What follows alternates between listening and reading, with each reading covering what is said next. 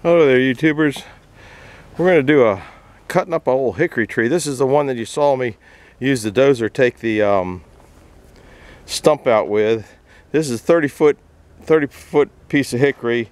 This end here is running 12 to 14 inches depending on whether you measure from. I already got my marks on it. Everybody's got their own way of marking uh, logs so there ain't no point in showing that. This is real muddy, super mud, just the bark's full of mud. So I'm not using a sharp blade, I'm using the one I've been sawing. I think I've sawed up a couple cords of wood with it already. This hickory and all this all this mud in here is probably gonna finish me off. So that's uh, where we're at on that. I'm gonna cut that up. Then I have one more, if the sun isn't getting you over here, that's another piece of this same tree. Um, I'm gonna cut that up. Then I have another one here. I don't want to cut that. I might make um, cant hook peavey um, handles out of that. Um, then I hope to get a little bit of split splitting done today. I want to get one totes full of this hickory. Rain's coming in tomorrow night, so I got to get done before that. Uh, I got the uh, sawmill half cleaned up, another log on deck because I didn't like the wood the other day. Here's the slab wood. I'll put a cover on it. Um, you can see how people that are new to the channel haven't seen it. I put I put these back in. I moved these over from this hole to this hole, re-drill it, put those back in. Then I stack this up higher and it makes them a lot more sturdy and stable to me. And then I stack them up. That might be, that might be uh, 12 inches, 10 to 12 inches above that. And then I put the lids, lids on like that. Everybody's got their own way of putting them on. Uh, so you can do what you want in that department. Um, or not even use them. We'll be using the, I hope, 041. I bought this back in 82. Uh, like I said, the chain isn't the sharpest. The other thing I wanted to show you, we're going to do it from an angle here. I got the end of the, uh, I'll zoom in on it. I got the end of the uh, sawmill shed done down there. I, am going to put a slider in down there, and I think down at that that uh, spot there, I think I'll put two um, swing doors on there. Uh, so that's where I'm at. I'm gonna go set you in the stand. This is kind of my own wood splitter war. See how long it takes to uh, chop that up. And then the next video is gonna be loading it in the, uh, the, the uh, bucket. And then the third one is going to be um, splitting it. So if this old chainsaw wants to start, we're gonna do it. We're gonna cut some mud. Um, I'm trying to think if that's and maybe I'll come up a little bit. I keep the logs up so I don't have to bend over so daggone far. It makes it easier on me. When you get old, you'll realize, nah, it doesn't want to start today. We might be doing another video. There we go.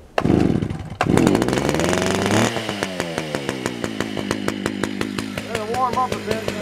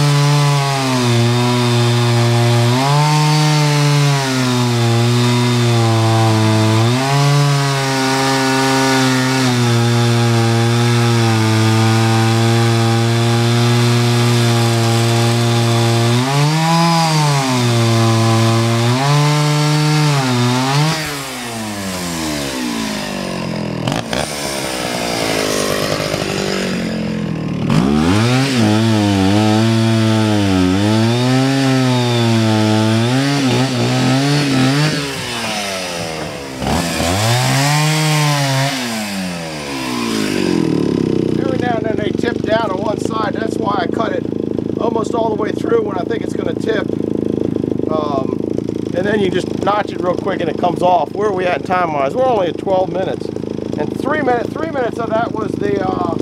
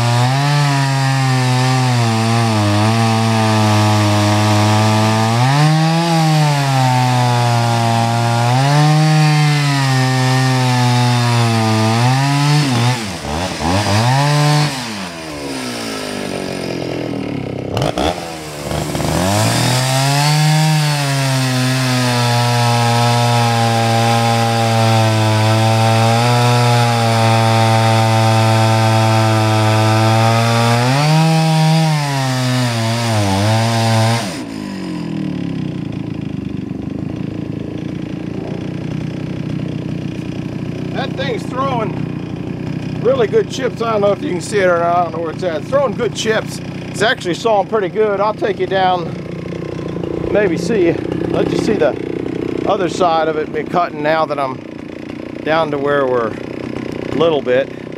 We're at 14. Whoops, tripped over you. Make sure you're still there. Doesn't be good to see finishing it up.